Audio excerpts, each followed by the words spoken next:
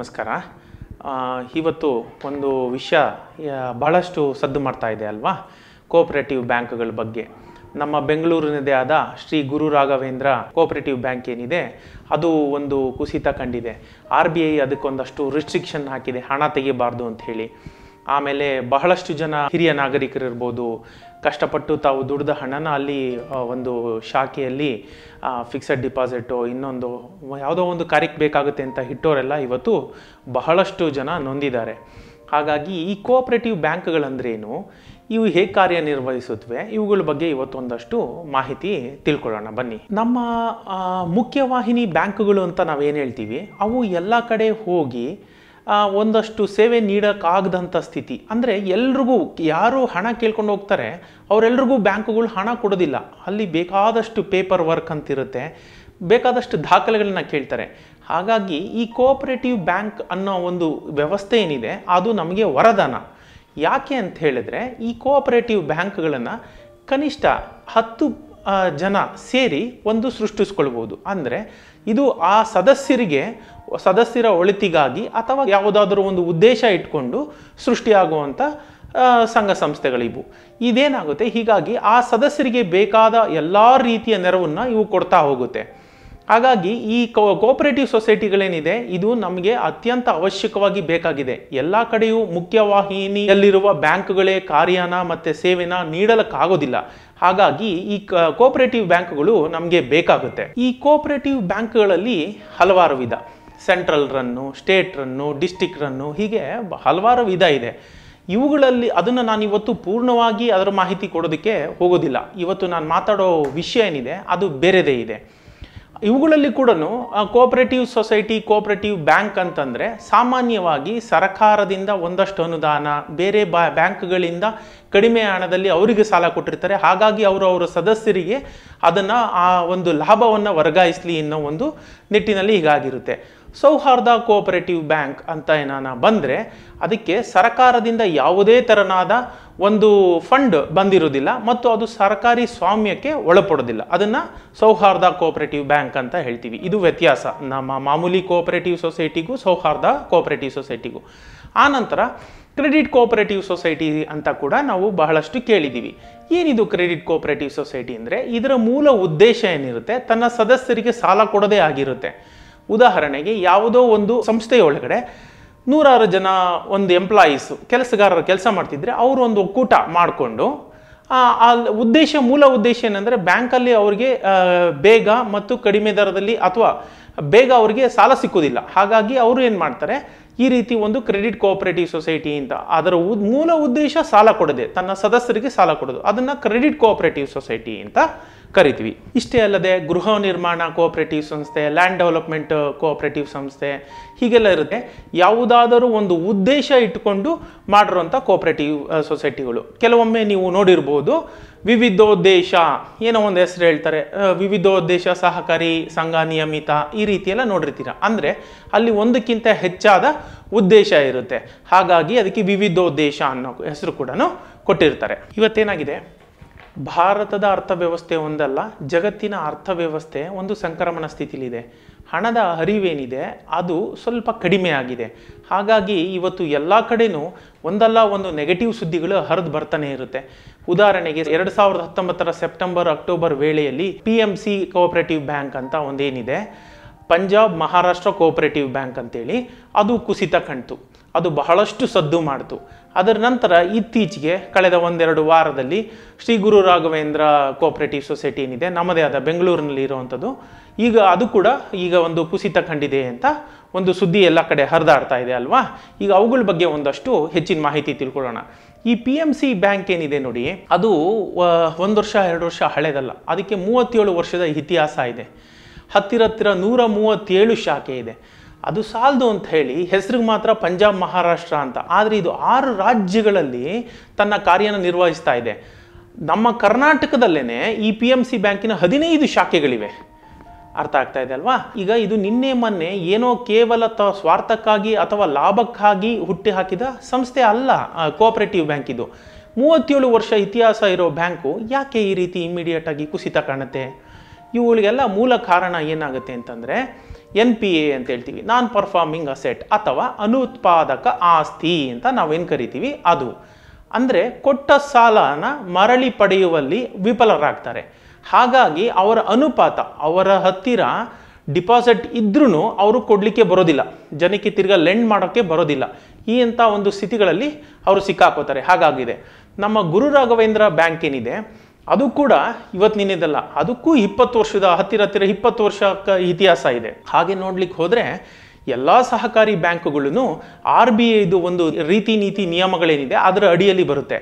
ಈ ಗುರು ರಾಘವೇಂದ್ರ ಬ್ಯಾಂಕ್ ಆಯಿತು ಅಥವಾ ನಮ್ಮದು Punjab Maharashtra cooperative bank, P M C ಅಂತ ಹೇಳ್ತೀವಿ ಇದಾಯಿತು ಇವೆಲ್ಲವನ್ನು ಆರ್ ಬಿ ಐ ಹೇಳಿದ ಒಂದು ರೀತಿ ನೀತಿ, ಒಂದು ರೂಪುರೇಷೆ ಅಡಿಯಲ್ಲೇ ಕೆಲಸ ಮಾಡ್ಕೊಂಡು ಬಂದಿವೆ. ಪಿ ಎಂ ಸಿ ಬ್ಯಾಂಕ್ ಆಗಲಿ, ಗುರು ರಾಘವೇಂದ್ರ ಬ್ಯಾಂಕ್ ಆಗಲಿ, ಇವ್ಯಾವು ತನ್ನ ಗ್ರಾಹಕರಿಗೆ ಮೋಸ ಮಾಡಬೇಕು ಎನ್ನುವ ಉದ್ದೇಶದಿಂದ ಯಾವುದೇ ಒಂದು ದುಷ್ಕೃತ್ಯಗಳನ್ನು ಮಾಡಿಲ್ಲ. ಅವುಗಳು ಸೊಸೈಟಿಯ ಆಶಯಕ್ಕೆ ತಕ್ಕಂತೆ ಕೆಲಸನ ಮಾಡ್ಕೊಂಡು ಬರ್ತಾ ಇವೆ. ಈ ಕೋಆಪರೇಟಿವ್ ಸೊಸೈಟಿಗಳಿಂದ ಬಹಳಷ್ಟು ಅನುಕೂಲ ಇದೆ. ಅವುಗಳೇನು ಅನ್ನೋದನ್ನ ನೋಡೋಣ ಬನ್ನಿ. ಇದೊಂದು ಸ್ವಯಂ ಪ್ರೇರಿತ ಸಂಸ್ಥೆ. ಹಂಗಂತಂದ್ರೆ ಸದಸ್ಯರೆಲ್ಲ ಸೇರಿ ಇದನ್ನು ಒಂದು ಸೃಷ್ಟಿ ಮಾಡ್ಬೋದು. ಮತ್ತು ಎರಡನೇದಾಗಿ ಇದು ಹತ್ತು ಜನ ಇದ್ದರೆ ಸಾಕು. ಹತ್ತು ಜನದಿಂದ ಇದೊಂದು ಸಂಸ್ಥೆನ ಹುಟ್ಟು ಹಾಕ್ಬೋದು ಇದು ಪ್ರಜಾಪ್ರಭುತ್ವದಂತೆ ಕೆಲಸ ಮಾಡುತ್ತೆ. ಎಂದಿಗೂ ಲಾಭನೇ ಮುಖ್ಯ ಅನ್ನೋದು ಇದರದ್ದು ತತ್ವ ಅಲ್ಲ. ತನ್ನ ಸದಸ್ಯರ ಮತ್ತು ಉದ್ದೇಶದ ಒಳಿತಿಗಾಗಿ ಕೆಲಸ ಮಾಡುತ್ತವೆ. ಇಲ್ಲಿ ಸದಸ್ಯರ ಬಾಧ್ಯತೆ ಏನಿರುತ್ತೆ, ಅವರ ಹೂಡಿಕೆ ಎಷ್ಟಿರುತ್ತೆ, ಅದಕ್ಕೆ ಮಾತ್ರ ಸೀಮಿತ ಆಗಿರುತ್ತೆ. ಎಲ್ಲಕ್ಕೂ ಮುಖ್ಯವಾಗಿ ಯಾವುದೇ ಮಧ್ಯವರ್ತಿಗಳ ಕಾಟ ಇಲ್ಲಿರೋದಿಲ್ಲ.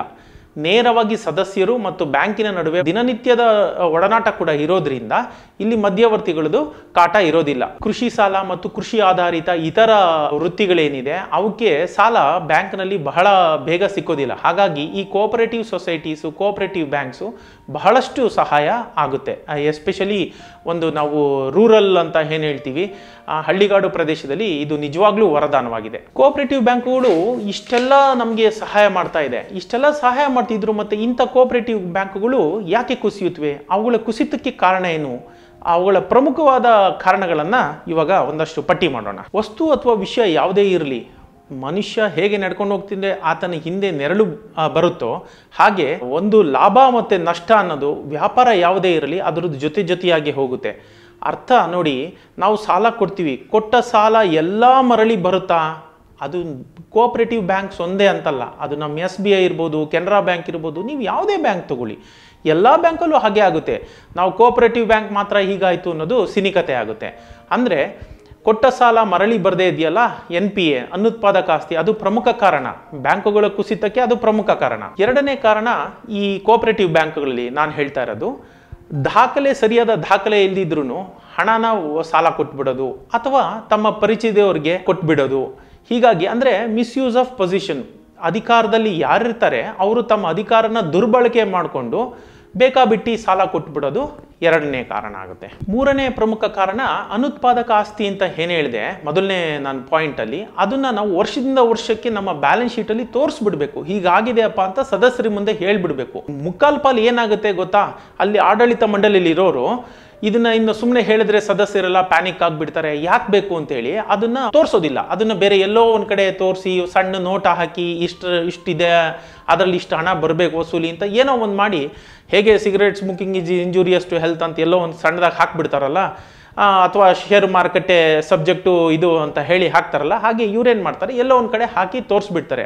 ಅದನ್ನು ಸದಸ್ಯರ ಮುಂದೆ ಇಡಬೇಕು, ಚರ್ಚೆ ಮಾಡಬೇಕು, ಹೀಗಾಗಿದೆ ಅಂತ ಹೇಳಬೇಕು. ಅವರು ಹೇಳಿದೆ ಅದು ಅಕ್ಯುಮುಲೇಟ್ ಆಗ್ತಾ ಹೋಗುತ್ತೆ. ಅಂದರೆ ಅದು ಸಂಗ್ರಹ ಆಗ್ತಾ ಹೋದಾಗೆಲ್ಲ ಲಾಸ್ ಏನಿದೆ? ಲಾಸು ಅಥವಾ ಅನುತ್ಪಾದಕ ಆಸ್ತಿ, ಅದು ಮರಳಿ ಪಡೆಯಲಾಗದ ಸಾಲದ ಮೊತ್ತ ಹೆಚ್ಚಾಗ್ತಾ ಹೋಗುತ್ತೆ. ಮೊತ್ತ ಹೆಚ್ಚಾಗ್ತಾ ಹೋದಾಗೆಲ್ಲ ಬ್ಯಾಂಕು ಕುಸಿತಕ್ಕೆ ಒಳಗಾಗುತ್ತೆ. ಎಲ್ಲಕ್ಕಿಂತ ಮುಖ್ಯವಾಗಿ ಇನ್ನೊಂದು ಪ್ರಮುಖವಾದ ಅಂಶ ಏನು ಹೇಳಿ? ಹತ್ತಾರು ಜನ ಸೇರಿದ್ರೆ ಅಲ್ಲಿ ಗುಂಪುಗಾರಿಕೆ, ಸ್ವಹಿತಾಸಕ್ತಿ, ಜಗಳ, ಅದು ಗೊತ್ತಿರೋದೆ ಅಲ್ವಾ? ಮನುಷ್ಯ ಅವನು ಯಾವುದೇ ದೇಶ ಆಗಿರಲಿ, ಭಾರತ ಅಂತಲ್ಲ, ಎಲ್ಲ ಕಡೆ ಇದ್ದಿದ್ದೆ. ಈ ಒಂದು ಸ್ವಹಿತ, ಗುಂಪುಗಾರಿಕೆ, ಇವುಗಳು ಕೂಡ ಕೋಆಪರೇಟಿವ್ ಬ್ಯಾಂಕ್ ಕುಸಿಲಿಕ್ಕೆ ಕಾರಣವಾಗುತ್ತೆ. ಸದಸ್ಯರ ಬಾಧ್ಯತೆ ಏನಿದೆ? ಅವ್ರದ್ದು ರೆಸ್ಪಾನ್ಸಿಬಿಲಿಟಿ ಅಥವಾ ಅಕೌಂಟಬಿಲಿಟಿ ಅವರು ಹಾಕಿರೋ ಬಂಡವಾಳಕ್ಕೆ ಮಾತ್ರ ಸೀಮಿತ. ಹೀಗಾಗಿ ಅವ್ರಿಗೆ ಅಕೌಂಟಬಿಲಿಟಿ ಇರೋದಿಲ್ಲ. ಅವ್ರದ್ದು ಅವ್ರದ್ದೇನು ಕೈಯಿಂದ ಹಣ ಹೋಗಬೇಕಾಗಿಲ್ಲ ಎಲ್ಲರೂ ಸೇರಿ ಹಾಕಿರ್ತಾರೆ. ಹಾಗಾಗಿ ಎಲ್ಲಿ ಅಕೌಂಟಬಿಲಿಟಿ ಇರೋದಿಲ್ಲ. ಬಾಧ್ಯತೆ ಹಣ ಅವರು ಹಾಕಿದ ಹಣಕ್ಕೆ ಮಾತ್ರ ಸೀಮಿತ ಆಗಿದ್ದಾಗ ಅವರು ಬೇಕಾಬಿಟ್ಟು ಅದನ್ನು ದುರ್ಬಳಕೆ ಮಾಡ್ಕೊಳ್ಳೋ ಸಾಧ್ಯತೆಗಳಿರುತ್ತೆ. ಈ ಒಂದು ಕಾರಣ ಕೂಡ ಕೋಆಪರೇಟಿವ್ ಬ್ಯಾಂಕ್ಗಳು ಕುಸಿತಕ್ಕೆ ಕಾರಣ ಆಗುತ್ತೆ. ಗೆಳೆಯರೆ ಇವುಗಳೆಲ್ಲದರಿಂದ ನಾವು ಒಂದು ವಿಷಯನ ತಿಳ್ಕೊಬೋದು. ಏನಂತಂದರೆ, ಈಗ ಒಬ್ಬ ವ್ಯಕ್ತಿಗೆ ಕ್ಯಾನ್ಸರ್ ಬಂತು ಅಂತ ಇಟ್ಕೊಳ್ಳಿ. ಊರಿನವ್ರಿಗೆಲ್ಲ ಕ್ಯಾನ್ಸರ್ ಬಂತು ಅಂತ ಹೇಳ್ತೀವಾ? ಇಲ್ಲ ಅಲ್ವಾ? ಈಗ ಬೆಂಗಳೂರಿನಲ್ಲಿ ಡೆಂಗ್ಯೂ ಜ್ವರ ತುಂಬ ಹಾವಳಿ ಹೆಚ್ಚಾಗಿದೆ ಅಂತ ನೀವು ಪತ್ರಿಕೆಗಳಲ್ಲಿ ಓದ್ತೀರಾ. ಹಂಗಂದಿದ ತಕ್ಷಣ ಬೆಂಗಳೂರಲ್ಲಿರೋ ಒಂದು ಕೋಟಿ ಜನಕ್ಕೂ ಡೆಂಗ್ಯೂ ಬಂದಿದೆ ಅಂತನಾ? ಯಾರೋ ಒಂದು ಹತ್ತಾರು ಜನ, ನೂರು ಜನ, ಐನೂರು, ಸಾವಿರ ಜನಕ್ಕೆ ಡೆಂಗ್ಯೂ ಬಂದಿರುತ್ತೆ ಅಲ್ವಾ? ಹಾಗೆ ಇಲ್ಲೂ ಕೂಡ ಒಂದು ಎರಡು ಒಂದು ಗುರು ರಾಘವೇಂದ್ರ, ಒಂದು P M C cooperative bank ಈ ಥರದ್ದು ಕುಸಿತ ಕಣ್ತು ಅಂದಿದ ತಕ್ಷಣ ಇಡೀ ಕೋಪರೇಟಿವ್ ಬ್ಯಾಂಕ್ಗಳೇನಿದೆ ಅದನ್ನು ಸಂಶಯದಿಂದ ನೋಡೋದು ತಪ್ಪಾಗುತ್ತೆ.